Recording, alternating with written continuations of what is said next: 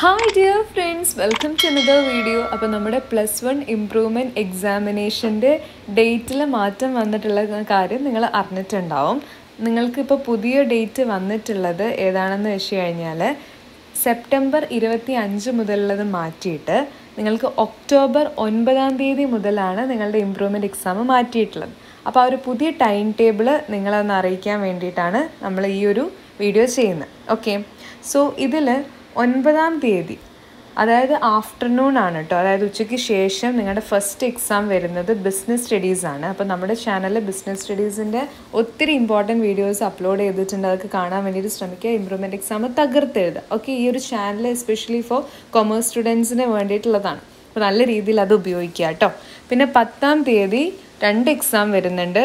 രാവിലെ മാത്തമാറ്റിക്സും ഉച്ചയ്ക്ക് ശേഷം സെക്കൻഡ് ലാംഗ്വേജ് ഓക്കെ പിന്നെ പതിനൊന്നാം തീയതി രാവിലെ അക്കൗണ്ടൻസി അക്കൗണ്ടൻസി റിലേറ്റ് ചെയ്തിട്ടുള്ള വീഡിയോസ് നമ്മൾ അപ്ലോഡ് ചെയ്തിട്ടുണ്ട്. ഇമ്പോർട്ടന്റ് ക്വസ്റ്റ്യൻസും ആൻസേഴ്സ് ഒക്കെ അപ്ലോഡ് ചെയ്തിട്ടുണ്ട്. പിന്നെ ആഫ്റ്റർനൂൺ ഉച്ചയ്ക്ക് ശേഷം കമ്പ്യൂട്ടർ ആപ്ലിക്കേഷനും വരുന്നുണ്ട്. പിന്നെ പന്ത്രണ്ടാം തീയതി ഫോർനൂൺ രാവിലെ ഇംഗ്ലീഷും പതിമൂന്നാം തീയതി പന്ത്രണ്ടാം തീയതി ഒരു എക്സാമേ ഉള്ളൂ കേട്ടോ പതിമൂന്നാം തീയതി രാവിലെ എക്കണോമിക്സും ആണ്. എക്കണോമിക്സ് റിലേറ്റ് ചെയ്തിട്ടുള്ള വീഡിയോസ് നമ്മൾ അപ്ലോഡ് ചെയ്തിട്ടുണ്ട്. അപ്പോൾ ഒൻപതാം തീയതി മുതൽ പതിമൂന്നാം തീയതി വരെ ഒക്ടോബർ മാസത്തിലാണ് ഇനി നിങ്ങളുടെ പ്ലസ് വൺ ഇമ്പ്രൂവ്മെന്റ് എക്സാം നടക്കുക. അപ്പം നിപ്പയുടെ സാഹചര്യത്തിലാണ് ഇത്തരത്തിലുള്ളൊരു തീയതിയിൽ മാറ്റം ഉണ്ടായിട്ടുള്ളത്.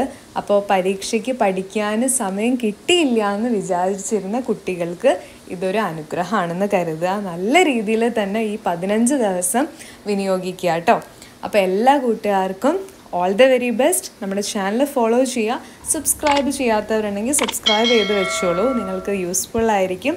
സംശയങ്ങളുണ്ടെങ്കിൽ ചോദിച്ച് മനസ്സിലാക്കുക. ഈ ഒരു ഇംപ്രൂവ്മെന്റ് എക്സാമിനേഷൻ എന്ന് പറഞ്ഞിട്ടുള്ള ഈ ഒരു ഓപ്പർച്യൂണിറ്റി നല്ല രീതിയിൽ ഉപയോഗപ്പെടുത്തുക. അപ്പോൾ എല്ലാ കൂട്ടുകാർക്കും ഓൾ ദ വെരി ബെസ്റ്റ്